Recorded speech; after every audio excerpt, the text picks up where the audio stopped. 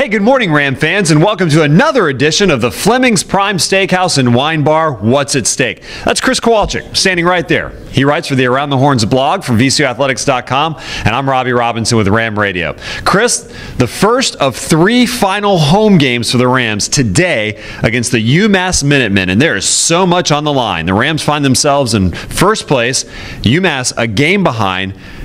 It's almost too easy to ask what's at stake for VCU as they take on this tough UMass team this afternoon. Yeah, Robbie, it's pretty self-evident. This is, you know, a game that will really impact the A10 standings. We've got a heck of a race going here. Three teams tied for first. UMass sort of just waiting in the wings. This is a, an even bigger game for them in, in, a sense. They're coming off a loss. They're going to come in hungry. VCU is really going to have to play their A, game, their A game today. All right, they got off to a slow start. Tell us a little bit about why that happened, and second of all, what have they done so well to give themselves an eight and four record and right in that hunt for that first seed in the A10 tournament. Yeah, a little bit of it is, you know, they're sort of adjusting to a new identity. Their, their engine the last few years was Chaz Williams, and, and he's graduated. Such a great player. And they played a really tough non conference schedule, like they have in the past two years. They took some lumps, but you're kind of seeing it now. They're battle tested, they, have kind of been through the wars a little bit, and, and they've played really tough in the A10. From a personnel standpoint, they have another big man that's really good, guy named Cady Lalanne. And even though we've only been in the league for three years, feels like we've been squaring off with him for about five. Talk a little bit about Cady Lalanne.